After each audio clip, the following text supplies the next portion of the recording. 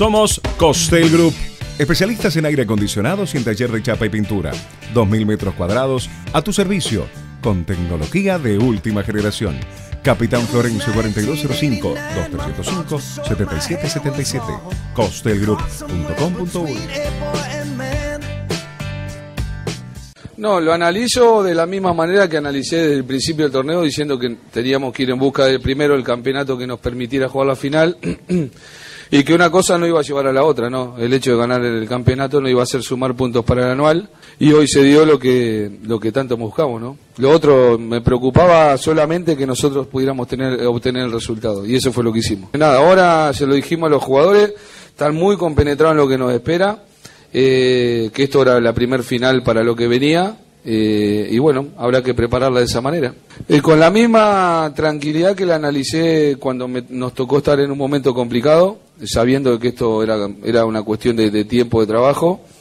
y hoy agradezco tener este plantel, este, las posibilidades que nos dan, ¿no? que son las que permitieron a Peñarol hoy ser el equipo más goleador, ser campeón y estar definiendo el anual.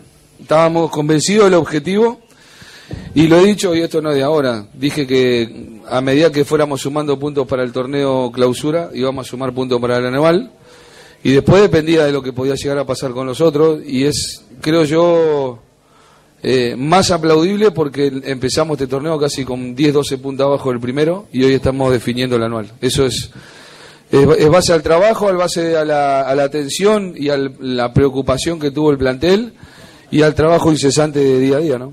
Lo que pasa que si, si empiezo a analizar, tengo que em, empezar a analizar mucho más para atrás, pero que hoy, hoy creo que hicimos, con esto creo que van 89 goles o algo así, a favor. Es una bestialidad de goles, es, es una enormidad de, de goles. Y lo bueno de esto, que siempre lo he dicho, lo hemos repartido entre varios jugadores la situación de gol. El partido de hoy, al minuto hicimos el gol, creo que después en cuanto a tenencia de pelota, creo que fue el, partido que más debemos haber tenido tenencia de, balón, pero no una tenencia demasiado tranquila ni pachorrienta, ¿no? Fue una tenencia con la intención sana de tratar de, abrir espacios que nos permitieron hacer un par de goles más, ¿no? Que de última también no tuvimos en algún momento del segundo tiempo la tranquilidad necesaria, podríamos haber hecho algún gol más. Si bien te queda la definición, este, te queda todavía eh, pelear por el campeonato uruguayo, ¿te ilusiona la posibilidad de seguir y tener revancha a nivel continental?